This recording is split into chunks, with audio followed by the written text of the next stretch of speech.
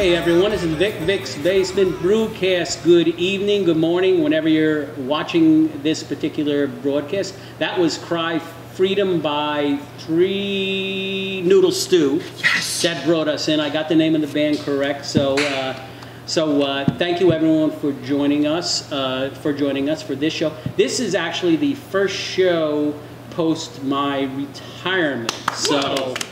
pleased to be here. And we are at a very fun brewery right now. Um, I really want to talk about.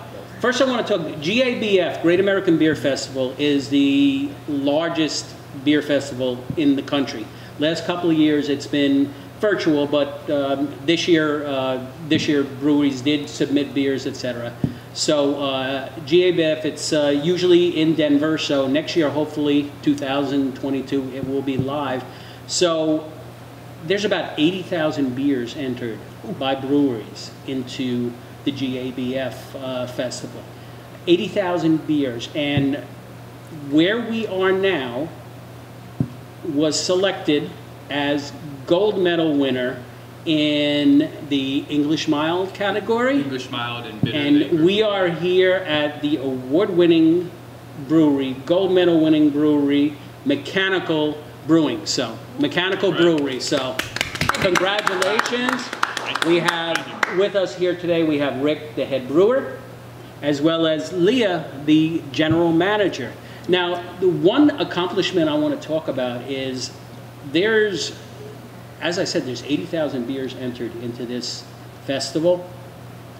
And it is very rare for a brewery in their first year of operation. When will the one year anniversary be, Leah? 30 days away. 30 days Wow. away. It is very Clock's rare. ticking. Clock's a- very rare. 41 for- seconds. Oh, is that, oh, is that what that is? That's The our 30? countdown. And there's a countdown uh, on the wall there. Very rare for a first year brewery to actually win a gold medal in GABF. So congratulations Thank to you. Leah, and the whole mechanical team. Uh, the owner founder uh, James Griffin couldn't join us uh, join us tonight here, but I actually had a chance to talk to James last year, actually before you guys opened. I was here and we talked about uh, some of the ideas, some of the dreams, and some of the uh, you know some of the uh, activities that you plan for the brewery. So one year we're here now. Leah, you were actually a a thought in James's mind then, because I think I remember when I was talking to James and Rick, I said, "Well, do you have like a general manager or something?" And they said, "We have someone in mind, but we can't say anything right now." So you are what they had in mind. So, uh, what do you think about the first year?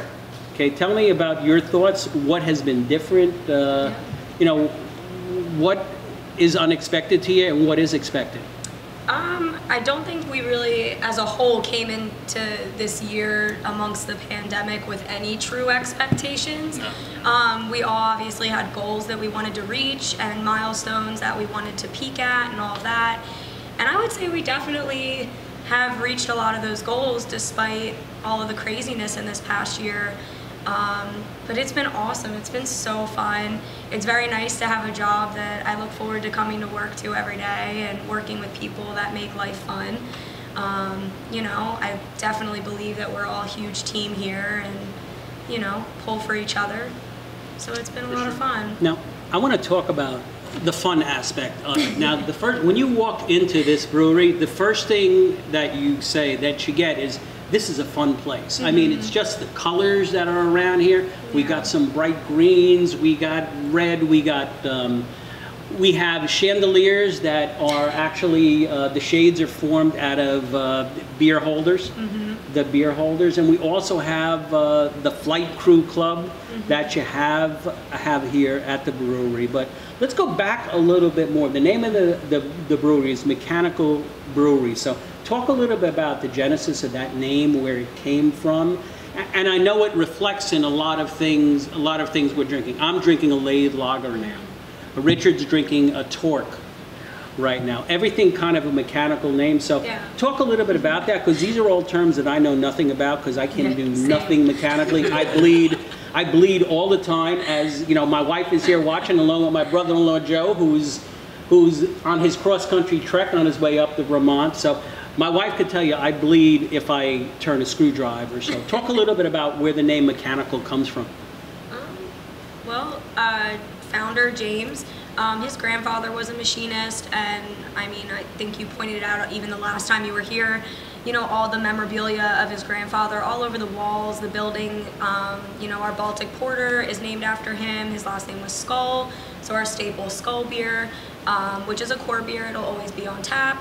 Um, and James himself, I mean, he is so handy. It's unreal. Almost every single thing in this building, he has built, touched, created, like his creativity level is just unreal. Like he looks at things and it'd be a blank wall and he'd be like, I'm gonna do something with that. And then you come in the next day and it's all redone and it's crazy. But yeah, like the all the woodworking and stuff, like he has a, a huge woodworking station in his basement. All of our tap handles have been made by hand by him. Wow. Um, and on our one year anniversary, we will be revealing all new tap handles. They are so cool, so excited for them. And like you touched on, all the fun colors. Every single one of our beers is also color coded. So there's a theme behind that. All of our wheat beers have some kind of a yellow aspect in them. All of our sours have some kind of a red aspect to them. Lagers all have green and so on. Um, so yeah, it's a very colorful place, and we definitely have fun emphasizing on that for sure.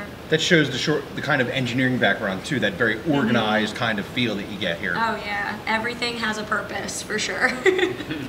You know, even it goes even so far as the the brewery tour that you mm-hmm. have. You know, we have the card here which shows the brewing process, which is actually posted on the the little fishbowl window there to look into the brew house, so people can see, look in there and see Rick sweating and working and, and picking up those 55 uh, pound uh, grain bags, etc., cetera, malt bags, etc. But even the brewing process is very organized. So talk about the flight crew membership, if you will, Yeah, for me. so um, New Jersey, you're not really allowed to do mug clubs or anything like that, technically. But we wanted some kind of a way to engage our customers, give them some kind of benefits for being frequent flyers, I guess you could say.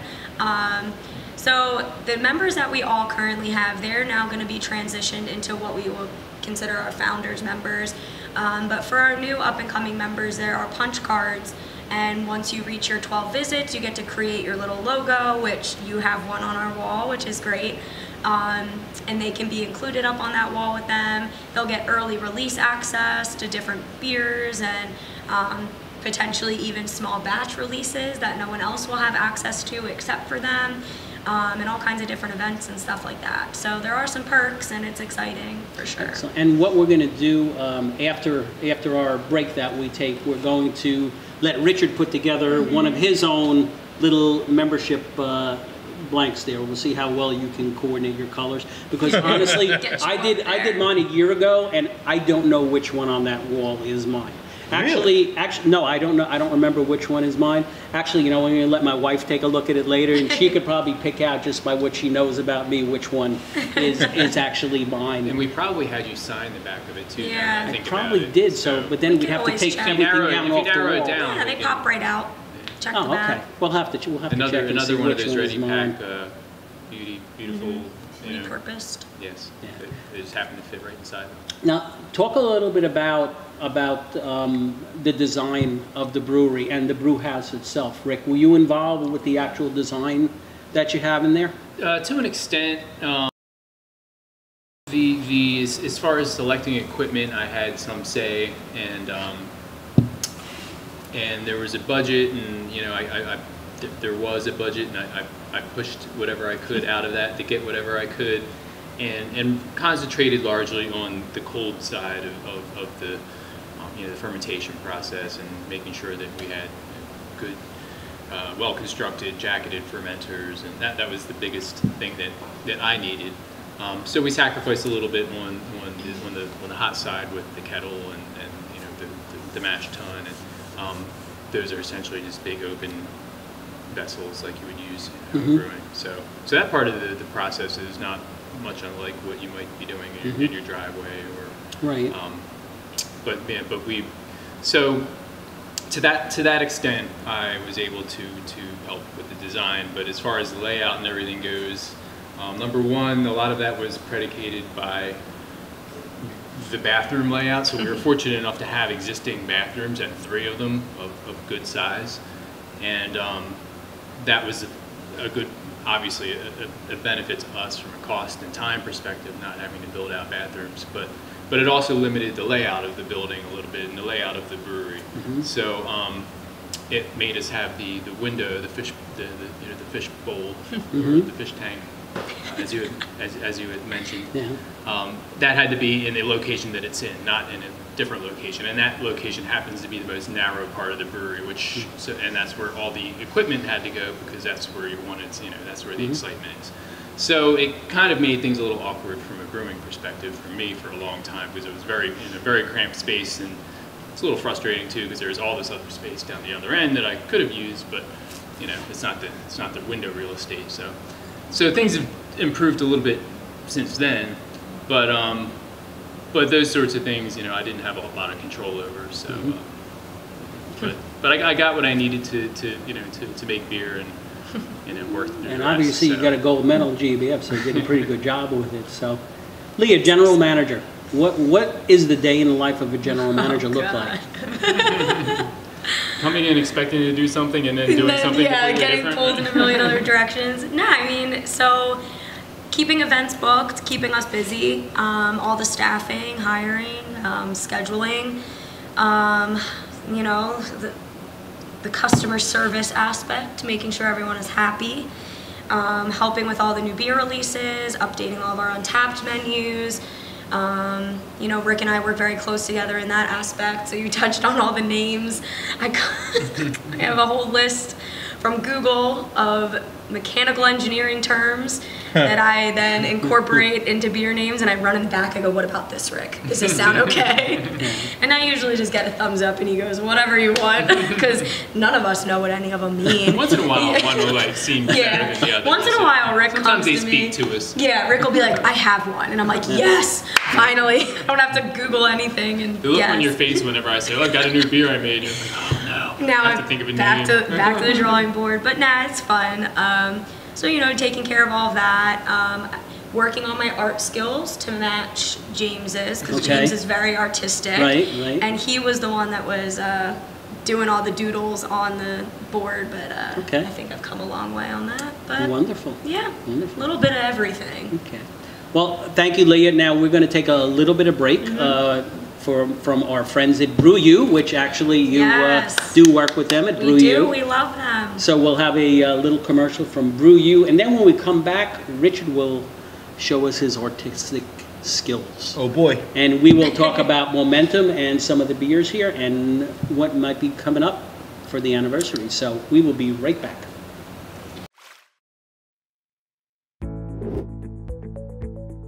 BruYou is the app to send and receive drinks. Buying a drink with BruYou is easy. First, select a recipient, choose the location, and then pick a drink from their menu and send it out. It's easy to stay connected with the people you care about with BruYou. Whether it's a birthday or promotion, or just because, sending a drink with BruYou is great for any occasion. When someone buys you a drink, you'll receive a notification with the details, and the drink will be stored in the app until you redeem it. When you're ready to redeem a drink, follow the prompts and show the bartender the confirmation screen. Once your drink is received, close it out on the app and say thanks. Then, cheers! You just received your first drink on BruYou. Available for download on the App Store and Google Play Store. Hey everybody, we are back here at Mechanical uh, Brewery, Brewery, and again, I want to talk how, how much fun this is, you know, and it's Halloween season right now. You know, may not be. It's probably going to be after Halloween when you all see this, but it's, it's such so cool. We've got gremlins. Are, gremlins are all around the brewery here. They're here all year we got round. we got we got Ruby Ruby scary. over there next to Johnny. We got we just got gremlins all over the place Yes. with which Rick can speak to as a uh, head brewer at a commercial brewery. Gremlins get into all of the equipment, yeah. whether you're here or whether you're home brewing. Sneaky little so, uh, we also we talked about the um, the flight crew and putting together our little uh, little round. Uh, what do they call? What do we call I think that? it was a hop cog. Is, is Hop what- cog, where we got to play with little Lego type of things and put them together. So uh, you saw some pictures of uh, of Richard doing his. You know, I actually did mine last year when I did the uh, when I did the article on mechanicals. So uh, if you ever hear at Mechanical Brewery, and you can look at the wall and see Richard and mine right next to each other, as we always are. Rich. I'm sorry that any residents of Cherry Hill heard me cursing while I was making it, so, uh, Those tweezers, they can be difficult. right? Yeah, very difficult. tiny It's like, pieces. it's like the, playing that operation game, right? Exactly, like playing Little tiny Operation, pieces, right? it's just like it. Well, we want to talk about we're going to talk about beers now with gold medal winning brewer. I'm, I'm tired of Rick. talking about beer. I do it all the Yeah. time. Well, and this is t- tell tell us Never- about never tell us about momentum. Momentum. Um, so it's, it's an English mild ale, uh, four percent, which actually is even a little high for an English mild. Um, a beer, it's a beer style that I've that I've liked to brew um, and like to drink. So I've brewed over the years. This is probably the third or fourth recipe I've done. Uh, I think the first one was at a homebrew competition where we used uh, cocoa pebbles in, as an ingredient because it was a cereal beer Okay, uh, competition. we've done one of and those And we lucked out and got cocoa yes, pebbles because you know what, you what can you do wrong with that? that's good. Yeah. So, um, so yeah, that's uh, so yeah, a beer style that I like, and the story with this particular beer is that um, I wanted to try a new yeast. So, uh, for the this first year of being in business, I've experimented with a few different yeasts. I didn't come from another production brewery where I had yeast strains that I used all the time and had a comfort level with. I have used certain ones. I've used many different ones, but didn't really have anything I was too settled on for the most part. So, Now, Rick, let me let me interrupt there a little Sure. bit. You know, we talked that you're not from a commercial brewery. Now, when you started here, what was your brewing background? well, I did I did do um, I didn't really do production brewing, so I didn't work in a brewery. I didn't work my way up the ladder to to be a brewer, like um, mopping floors and you know cleaning fermenters And doing cleaning mash tuns stuff. out. Yes, exactly. Which you know didn't necessarily serve me best because I had to learn how to. I mean, cleaning a mash tun out isn't too difficult, but but um, but cleaning fermenters and running cleaning place cycles and that sort of thing uh, was something I had to learn. But um, but I did. I worked at uh, Lunacy Brewing Company in Haddon Heights for as as a one-off brewer. I had the rotating tap essentially um, was open to me to, to go in and try new beers, and so I just got to experiment and make something different every time. and then when we landed something with that, you know went over well or that we liked, I would rebrew it. So I kind of had my own tap there for a while, but it was it was all based around my work schedule for my full time job, which um, sometimes didn't permit me to, to Sure. brew for months at a time, and then sometimes I was able to you know, get in once a week. So it all depended. So um, so I didn't really have uh, what I used was largely what whatever they had, and I got to order some of my own uh, ingredients and such. But um, but yeah, so I didn't really have any kind of again like production type background where a lot of production brewers will have a yeast strain that they that they utilize a repitch from from from fermenter to fermenter. Um, so that so that's something that I've experimented and played around with for this first year and tried to find you know what worked for me. Okay. And in the case of Momentum, there was a there was a yeast strain. I've been I've been I was searching for an IPA yeast, and um, a lot of the the hazy or New England style IPAs, um, a lot of brewers like to use the offshoot of the Boddington strain, the London Three, or whoever, depending on where it comes from, what you know what it's called. So I, I wanted to use that, and there was a, a dry version of it that had come out, and I thought that that would be definitely worthy of experimentation. And I also wanted to experiment with re, repitching it because it's a top cropping yeast, and I have on my three and a half barrel fermenters. I have uh, manways on the top of the fermenter that I can open up and I could top crop. Uh, I could I could crop from the top of the from the top of the fermenter Okay. and repitch these that way. So I thought, well, that would be a fun thing to try. Um, ultimately, it's something I wanted to do uh, for production and do it regularly. But uh, so the idea was to take this yeast and then put it in a small session beer and then repitch it into an IPA. So it's, what session beer can I make? An English mild. And I made up a recipe and brewed it, and that was the first batch of Momentum. We liked it, and we submitted it to GAF and GA, GABF. Yeah. That's my old roofing industry, Lingo, Okay. creeping through the GAF. but uh, yeah, we we, uh, we we entered it into the Great American Beer Festival, and got a gold. So Now, how did you, pretty, how did, pretty wild story. how did you learn about the gold medal? Because I know you weren't out there in Denver for, you weren't out there for the That was the night that Cup. You was, had right? one job. Rick, I was running the tap room, and it was a really busy night. Right. James was out doing what James does, mm-hmm. and Rick was sitting at home watching the live No, I wasn't feed. sitting at home. No. You were watching the live feed. Wherever you were, you were watching the live So feed. let, let- so let me finish the story.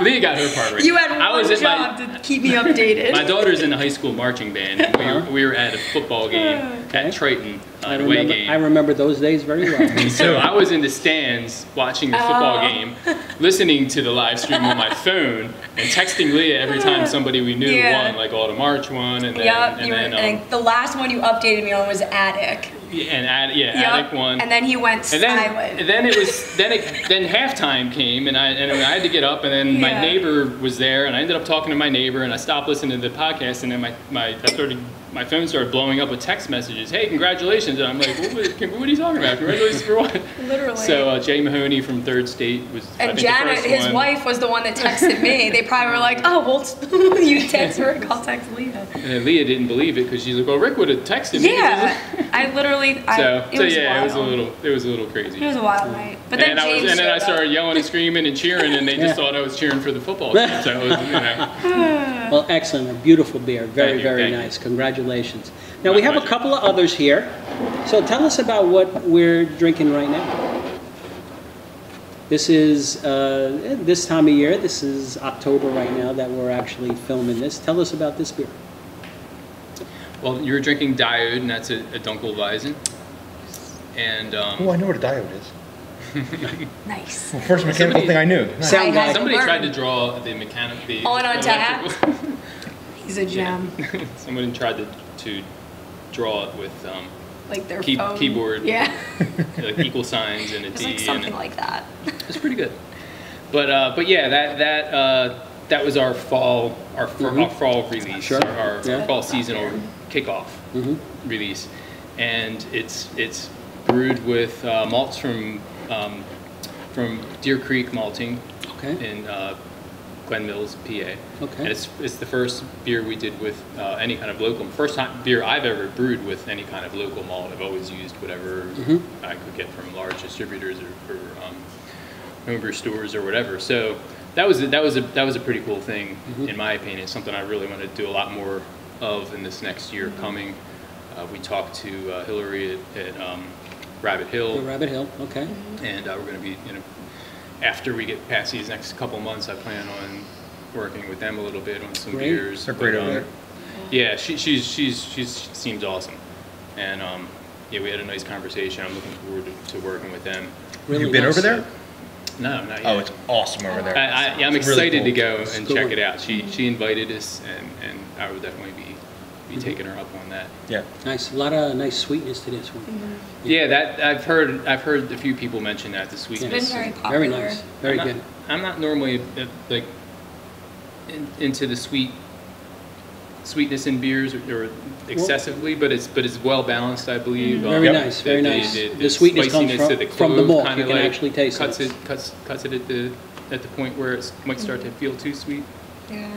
Nah, this beer's been extremely popular. Like it's already almost gone. Like it, Oh, I feel like it went on tap and now it's gonna be off tap. Yeah, I love it. It's uh been really moving. Excellent, excellent. Now, this third one I know here, this is uh, your Imperial Pilsner. Okay, nice and clear. This is what a Pilsner should look like. Nice and clear. But something somewhat unusual, unusual about this Pilsner is, what's the ABV on it? Seven point seven, Whoa. right? Yeah, actually, it's tapped, Mm. and um, this batch is like a seven point three or something. So- Very, very nice. Very, And this Doesn't is, Imperial. drink like it. and this one is, and this is called Pinion. Pinion. Yep. which Probably is a- my favorite beer on tap. Another honestly. mecha- and this is something you could sit and drink. uh, Yep. This is nice summertime. Oh, This is- yeah. This is like an all-year type of beer. Nice, nice pilsner. Yeah, Very probably nice. will be an all Yeah. year. Um, It- Yeah, the first batch us. really took off tremendously, So I was excited when he was like, I got another one in the tank. I'm like, thank God we're about to run out. Yeah, once in a while that happens, right? yeah, it's been really popular for sure. So Excellent. All three excellent, excellent beers. Now, you got an anniversary coming up. Um, 30 days, 9 minutes, and 4 seconds. Am I reading that correctly? Yeah, I believe so. sounds Is it? 30 days? So What's planned for the anniversary? Any special releases coming out that you can talk about, or you want to keep it uh, under your hat Uh, right I mean, now? I mean, yeah, we've got. I, don't I guess I'm you could a- talk about Antikythera. Yeah, Like, that- that's yeah. one that he brewed before opening and was on tap for I would say the first like month or so of us being open. It's the kettled sour red And ale. what is that called? Antikythera, and it was it's just like one of the most unique beers I've ever had. Like I remember when I first started working here, I was like, we have a what? and it took off, and it was very popular, and it hasn't been on tap since like our opening month. Really? So, yeah, it's ex- I'm excited to have that back. Beautiful, beautiful beer. Antikythera. Sounds like one of the characters from Dune. Antikythera. Okay, It's, uh, it's, it's an ancient, uh, it's, it's a mechanical device that was used by the ancient Greeks, Mhm. and it was they found one in the bottom of the Mediterranean Okay. Sea. Oh, and yeah, I know it was, yeah. it- they were able to predict the Mhm. um, the uh, movement of planets and, and Is that I what that is? planetary I think I movements. remember. I've gone like- a whole year to- not knowing what this means. They were able to predict for like 10,000 years out, like the What? position of the planets. Is it a I've bunch gone of a whole this- year not knowing this- any essentially of a computer. Yeah. Actually, actually, you know what I did? I remember talking to James about it when I was Yeah, here 'cause it was before you all probably on opened. tap when you were Because it was on tap then, so. Yep. Great. Okay, we are going to start wrapping up uh, now. So, Mechanical Brewery, tell us where can everyone find you and uh, social media, all of that kind of stuff. So, Well, Instagram, Facebook, mechanicalbrewery.com. Mm-hmm. Um, my Instagram handle is pint size Leah. I try to keep my personal as updated as possible with all of our releases and everything, and new beers on tap as well. Um, Otherwise, Phi Purina Boulevard, Cherry Hill, Yep. New Jersey. okay, great. Rick, Leah, it's been fantastic being here. Beers are great. Congratulations again on the medal. Richard, anything to finish off with? Everything's been awesome. Everything has been Yeah. awesome. Oh, yeah, so- by the- he's look, left nothing behind. I love it. He did. He's good. So He's remember, sitting here drinking. SouthJerseyBeerScene.com, Facebook, Instagram. Check out, please check out our YouTube channel for shows like this one, Vic's Basement uh, Brewcast, as well as Alexis Drink and Drinks and other special shows coming up on there. So, um, also my own, so Leah's Pint Size Leah. Also, you can check out Vic's Basement Brew and see what kind of shenanigans I'm up to on the brewing side. So with that, thank you all for joining us. Uh, remember YouTube, South Jersey Beer Scene. Make sure you subscribe to this and other shows. So with that, thank you guys so much for having us. Thank you guys for being here. Everyone, cheers. Have a good night.